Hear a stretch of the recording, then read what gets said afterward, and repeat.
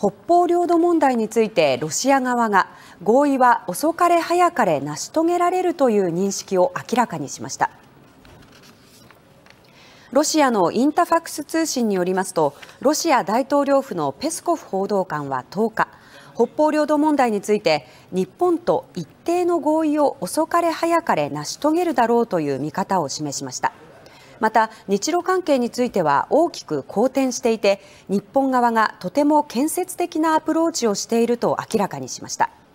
13日には外務事務次官による戦略対話が行われます。12月のプーチン大統領の来日に向け日本政府が打ち出した8項目の経済協力や北方領土問題などについて協議する方向です。